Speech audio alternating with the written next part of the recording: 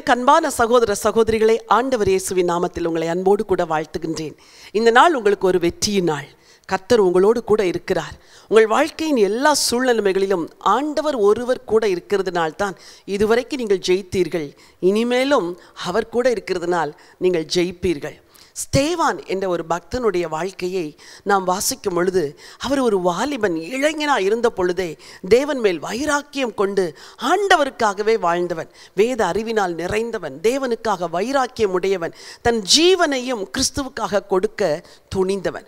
அவன் கத்தருடைய வார்த்தையை தன்னை சுற்றியுள்ள ஜனங்களுக்கு சொன்ன பொழுது சுற்றிலும் இருக்கிற மக்கள் எல்லாரும் அவன் மேல் கோபம் கொண்டு பல்லை கடித்தார்களாம். ஒரு வசனத்தை வாசிக்க விரும்புகிறேன். அப்போ நடவடிகள் ஏழாம் அதிகாரம் ஐம்பத்தி நான்கு ஐம்பத்தி ஐந்தாவது வசனங்கள். இவைகளை அவர்கள் கேட்டபொழுது மூர்க்கமடைந்து அவனை பார்த்து பல்லை கடித்தார்கள்.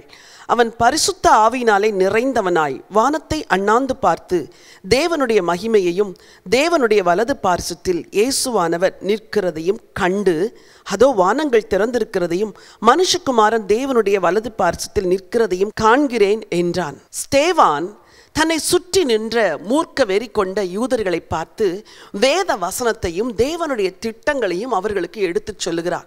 ஒரு குறிப்பிட்ட நிலை வரைக்கும் கேட்டுக்கொண்டிருந்தவர்கள் திடீரென்று மூர்க்கம் கொண்டு பல்லை கடித்து அவன் மேல் கல்லெறியும்படி பாய்ந்தார்களாம். வசனம் சொல்லுகிறது அவன் பரிசுத்த ஆவியினால் நிறைந்தவனாய் வானத்தை அண்ணார்ந்து பார்த்து இயேசுவானவர் நிற்க கண்டான் என்று. வாழ்க்கையிலே உங்கள் மேல் பலரும் எரிச்சலும் கோபமும் கொண்டு மூர்க்க வெறி கொண்டு அநியாயமாய் உங்களை துன்பப்படுத்தி அநியாயமாய் உங்களை அவமானப்படுத்தி அவதூறான வார்த்தைகளை உங்கள் மேல் பழி சாட்டி உங்களை அடித்து துன்பப்படுத்துகிற நேரத்தில் நீங்கள் திரும்ப பேசவோ திரும்ப அடிக்கவோ திரும்ப எதிர்த்து பதில் சொல்லவோ வேதம் அனுமதிக்கவில்லை. இங்கே வசனம் சொல்லுகிறது அவன் பரிசுத்த ஆவியினால் நிறைந்தவனாய் வானத்தை அண்ணார்ந்து பார்த்து தேவனுடைய மகிமையையும் தேவனுடைய வலது பார்சத்தில் இயேசுவானவர் நிற்கிறதையும் கண்டான் என்று வாசிக்கிறோம். எனக்கு அன்பானவர்களே அநியாயமாய் உபத்திரப்படுத்தப்படும் பொழுது நீங்கள் ஆவியில் நிறைய வேண்டும். அநியாயமாய் துன்பப்படுத்தும் பொழுது நீங்கள் வானத்தைத்தான் அண்ணார்ந்து பார்க்க வேண்டும். நீங்கள் அநியாயமாய் உபத்திரப்படுத்தப்பட்டு நிந்திக்கப்பட்டு துன்பங்களின் வழியை நடந்து செல்லும் பொழுது கண்ணீரின் பாதையில் கடந்து செல்லும் பொழுது கர்த்தருக்காக நிந்தைகளையும் அவமானங்களையும் அடையும் பொழுது கர்த்தர் எழுந்து நிற்கிறாராம். எவ்வளோ பெரிய ஒரு மகிமை அது. நீங்கள் உபத்திரப்படுகையிலோ துன்பப்படுகையிலோ ஆண்டவர் பார்த்து கொண்டு கை கட்டி கொண்டு சிரித்து கொண்டிருக்கிறவர் அல்ல. அவரால் உட்கார முடியாதபடி எழுந்து நின்றாராம். தன் தாசனுக்காக எழுந்து நிற்கிற தேவன் தன் பிள்ளைகளுக்காக எழுந்து நிற்கிற தேவன் இன்றைக்கு ஆண்டவர் உங்களுக்காக எழுந்து நிற்பார். உங்களுடைய உபத்திரவங்கள் அவமானங்கள் நிந்தைகளை கண்டு தேவன் மௌனமாய் இருக்க மாட்டார். கர்த்தர் உங்களுக்காக எழுந்து நிற்பார். கர்த்தர் உங்களுக்கு நியாயம் செய்வார். இந்த ஸ்தேவானை மனதில் நிறுத்திக் கொள்ளுங்கள்.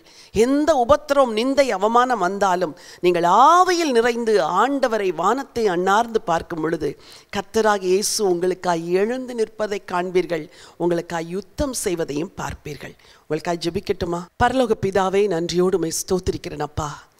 இந்த உலகத்திலே உமக்காக நிந்தைகளையும் பாடுகளையும் உடைய ஜனங்கள் அனுபவிக்கும் பொழுது ஸ்தேவானின் வாழ்க்கையை தங்களுக்கு சாட்சியாய் நிறுத்திக் கொள்ளட்டும்.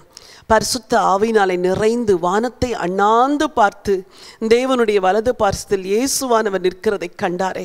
அதே போல ஆண்டவரே உம்முடைய பிள்ளைகள் உம்மை மாத்திரம் நோக்கி பார்க்க கத்தர் உதவி செய்யும்படி அஜபிக்கிறேன் பொல்லாத உலகத்திலே துன்மார்க்க மக்கள் மத்தியிலே தேவ பக்தியை அசட்டை பண்ணுகிற ஜனங்களுக்கு மத்தியிலே உம்முடைய ஜனங்கள் வாழுகிறதை அறிந்திருக்கிறீர். அவர்கள் நிந்தைகள் அவமானங்களை நீர் அறிந்திருக்கிறீரப்பா இந்த காலை வேளையிலே ஆண்டவர் எழுந்தருளுவீராக.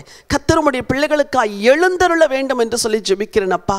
உம்முடைய பிள்ளைகளுக்கு நீதி செய்யுங்க இரக்கம் செய்யுங்க உம்முடைய பிள்ளைகளை பலப்படுத்தி ஸ்திரப்படுத்த வேண்டும் என்று ஜெபிக்கிறேன். இந்த நாளெல்லாம் உடைய திவ்ய கிருபை தாங்கி நடத்தட்டும். ராஜா இயேசுவின் நாமத்தில் பிதாவே. ஆமேன் ஆமேன். பிரியமானவர்களே நிந்தைகளின் வழியாய் அவமானங்களின் வழியாய் பற்கடிப்புகளின் வழியாய் நீங்கள் கடந்து செல்லும் பொழுது ஆண்டவரை மாத்திரம் நோக்கி பாருங்கள் ஆவியிலை நிறைந்திருங்கள். அவர் உங்களுக்காய் எழுந்து நிற்பார். அவர் உங்களுக்காய் நியாயம் செய்வார். God bless you